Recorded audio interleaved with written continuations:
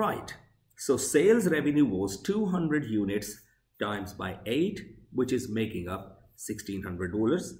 And costs 200 units times by 5, which is making up $1,000.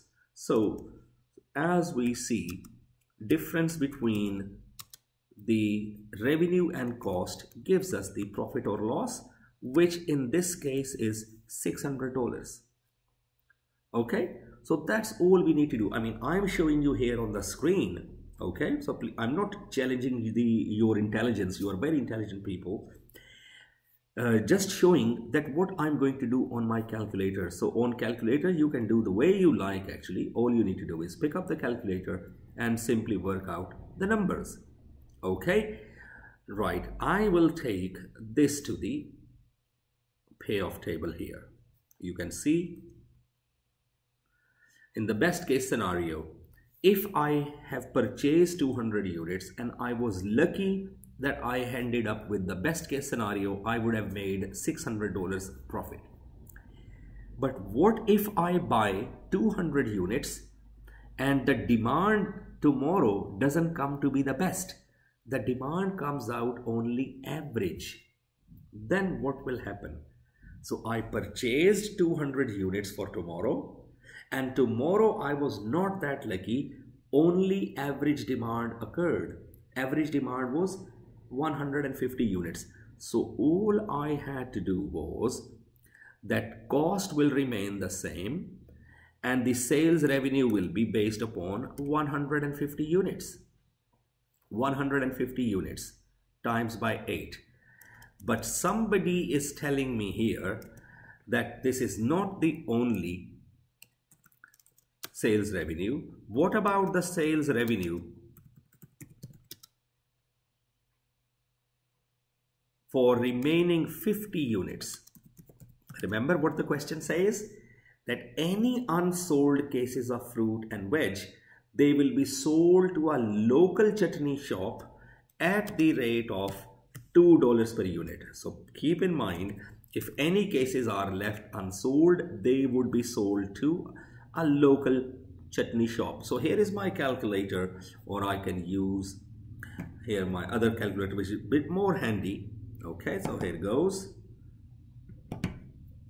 Right. So 150 times by 8 which gives me $1,200 then 50 times 2 is 100 so my total sales revenue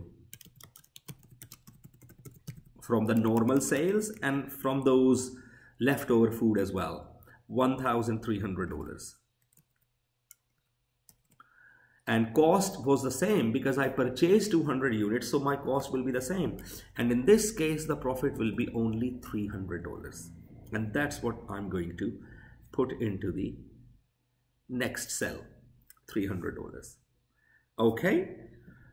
What happens if I end up with the worst case scenario worst case scenario means I purchased 200 units with the hope but I ended up in a worst case demand environment.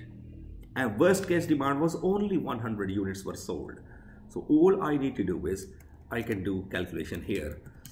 Normal sales revenue. I sold 100 units at the normal price and then plus sales revenue to the chutney shop 100 units at a very small value of 2.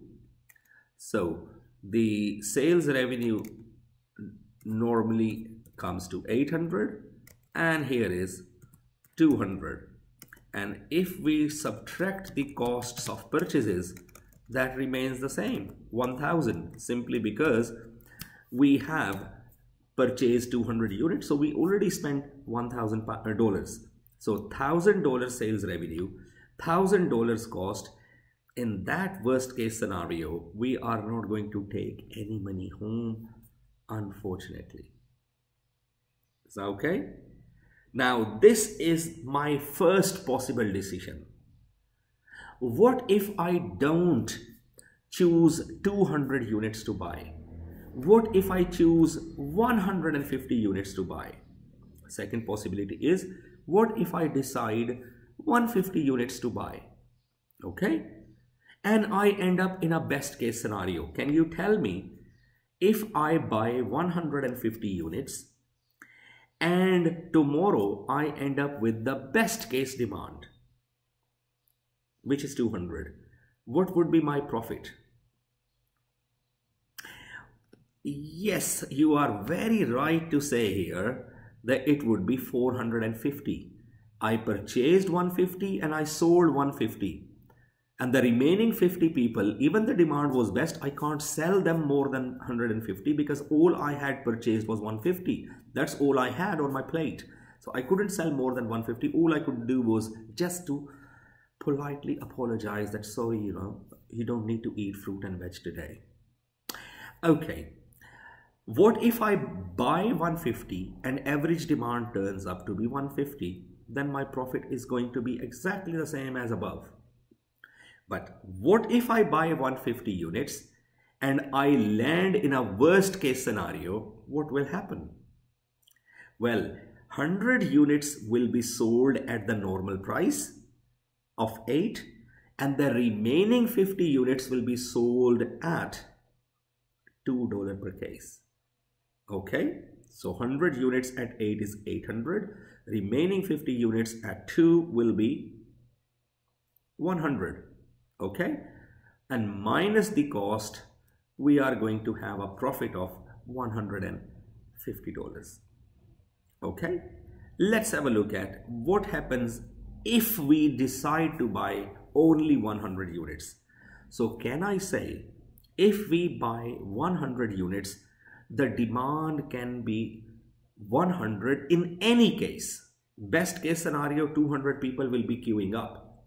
Average case scenario, 150 people will buy. And worst case scenario, still we will have 100 units. So we buy 100 units, we can sell 100 units.